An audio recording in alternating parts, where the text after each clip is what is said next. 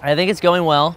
Um, crossed Nebraska, and then the Rockies, and then the desert. And now we're in the desert, which I don't know whose idea it was to cross the desert in August, honestly. Not the best idea. It's getting hot. Uh, I'm trying to leave as early as possible, uh, like six o'clock. It never happens. I get up at 5.30, but I'm usually not on the road till like 7.30. Um, but it's fine. Uh, I put on lots of sunblock. I've moved up from 50 SPF to 85, and now I'm at 100 SPF. But as you can see, I'm still getting burned every day, so I don't know what I'm doing wrong. Putting it on like eight times a day, but whatever.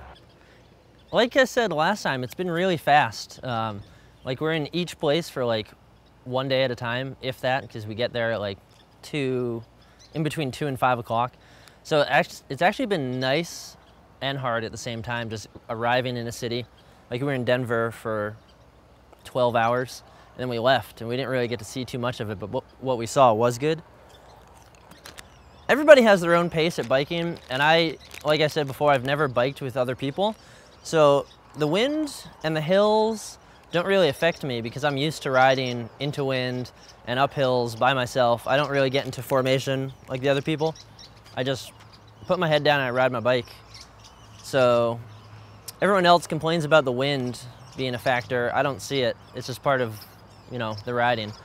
It's kind of bittersweet. The trip is like we're on our last like two or three weeks. it's going quickly and you don't really want it to end, but you do want it to end because it's getting a little monotonous to wake up, eat oatmeal, get on your bike, ride all day, and but you see a lot of the country, so it's still nice.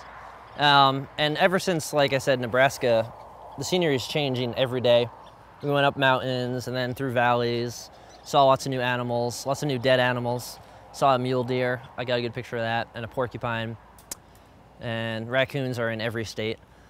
And so we just keep riding, and the scenery changes from like mountains to valleys to deserts. And that's actually been nice. It keeps, you know, the change is, is nice. And today, I rode 20 miles on the left side of the road, the British side, I believe it is. And so you got to do stuff like that to just change up uh, your day so it's not as monotonous.